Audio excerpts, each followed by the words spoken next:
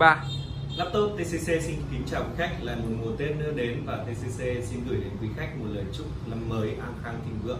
Và TCC triển khai chương trình bắt đầu từ ngày 15 tháng 1 đến ngày 15 tháng 2 khi mua máy từ 6 triệu trở lên ngoài bộ quà tặng bao gồm ba lô, túi chống sốc, chuột không dây, bản di chuột đèn nét USB thì quý khách mua máy từ 6 đến 10 triệu sẽ được tặng thêm một USB Kingston 16 GB và mua máy từ 10 đến 20 triệu được tặng uh, ổ cứng SSD 120GB kinh mắc bảo hành 36 tháng.